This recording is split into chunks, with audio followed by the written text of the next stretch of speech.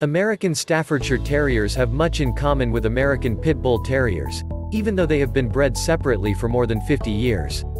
They are considered a pit bull breed and are targeted by breed-specific legislation. Some insurance companies won't cover households that have this breed. Check your local laws and insurance policy before you adopt one.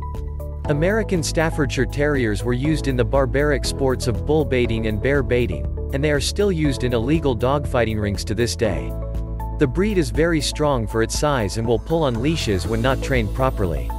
They prefer to have a yard with a strong, high fence so they can run around and burn off energy.